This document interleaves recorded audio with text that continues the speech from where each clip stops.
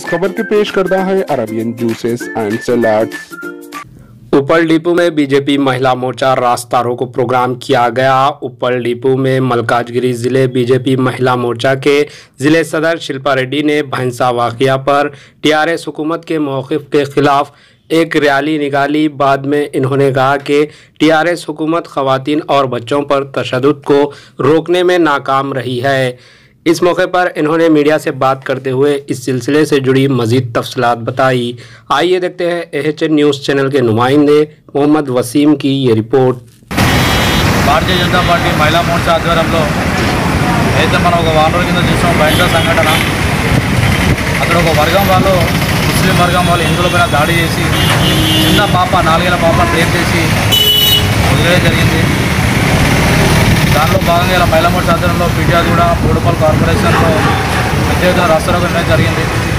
మరి ఇలాంటి సంఘటనలు రాష్ట్రంలో ఎన్నో జరుగుతున్న పోయిన సంవత్సరం ఇదే టైంకి బైన్సాల్లో పెద్ద ఎత్తున మత చెలదగినాయి కానీ ఇంతవరకు కానీ ఈ గవర్నమెంట్ కానీ కేసీఆర్ కానీ ఎవ్వరు కూడా స్పందిస్తలేరు మళ్ళీ అదేవిధంగా ఇప్పుడు జరుగుతుంది హిందువులపైన దాడులు దాడులు జరుగుతున్నాయి.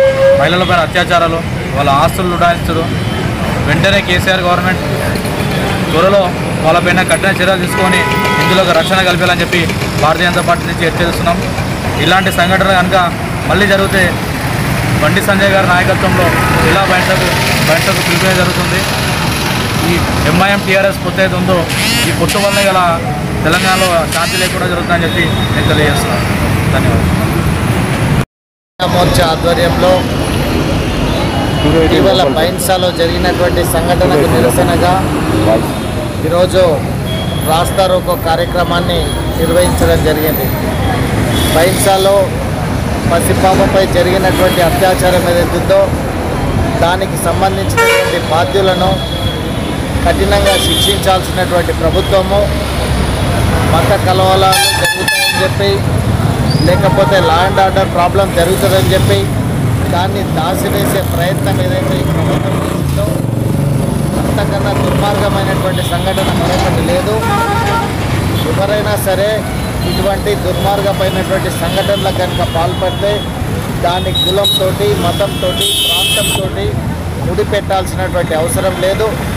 వారెవరైనా సరే వారి పైన కఠిన చర్యలు తీసుకోవాలని చెప్పి భారతీయ జనతా పార్టీ భావిస్తూ ఉంది. ఆ దిశలోనే ఆ యొక్క కుటుంబానికి వారికి సంబంధించినటువంటి అన్ని రకాల విషయాల లోపల ఆదుకోవాలి.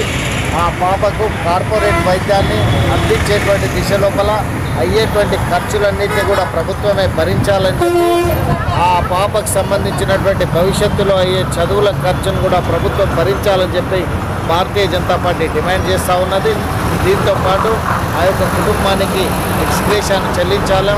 దీనికి ఎవరైతే బాధ్యులుగా ప్రత్యక్షంగా పరోక్షంగా తోడ్పడ్డటువంటి వ్యక్తులందరినీ కూడా కఠినంగా శిక్షించాలని చెప్పి భారతీయ జనతా పార్టీ మహిళా మోర్చా తరఫున ఈరోజు ఈ యొక్క రాస్తారోక కార్యక్రమాన్ని నిర్వహించడం జరిగింది हमारे एच न्यूज़ को सब्सक्राइब करिए ताकि आपको नोटिफिकेशंस आते रहे वक्त पर